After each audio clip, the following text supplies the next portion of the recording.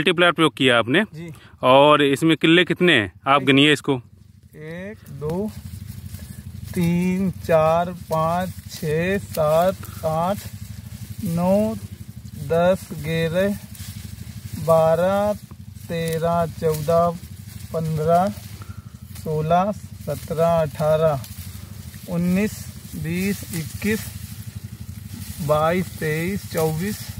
पच्चीस छब्बीस सत्ताईस अट्ठाईस उनतीस तीस इकतीस बत्तीस तैंतीस चौंतीस पैंतीस छत्तीस सैंतीस अड़तीस उनतालीस अरे वाह उनतालीस किले और देखिए उनतालीस किलो में से ये मान के चलिए पैंतीस किलो में अभी बाली आ चुकी है